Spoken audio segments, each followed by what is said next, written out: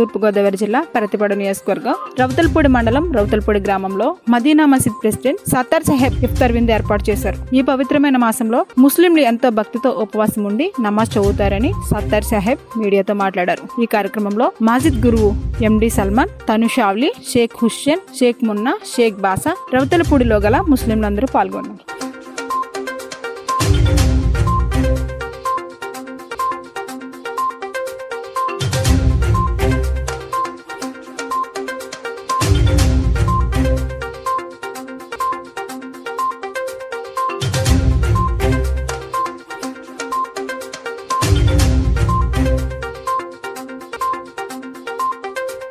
गुजारने की तोफ़ी अता फरमाई।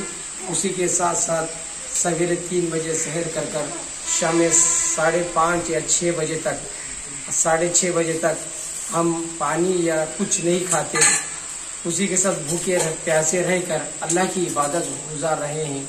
उसी के साथ साथ पाँच वक्त की नमाज़ भी अल्लाह की इबादत कर रहे हैं और कुरान की तिलावत भी कर रहे हैं।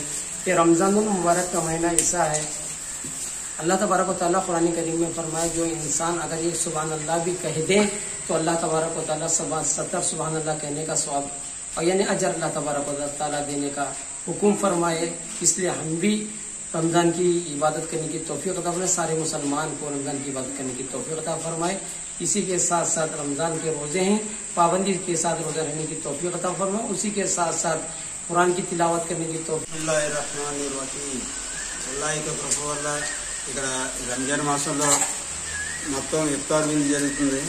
పిల్లలు పెద్దలు అందరూ కలిసి ఏకాగ్రంగా చేసుకునే విందు ఇఫ్తార్ విందు ఇప్పుడు ఉపవాసం ఇచ్చి విషయాల్లో రాత్రికి భోజనం చేసి మళ్ళీ తరాబీ నమాజులు అవుతాయి.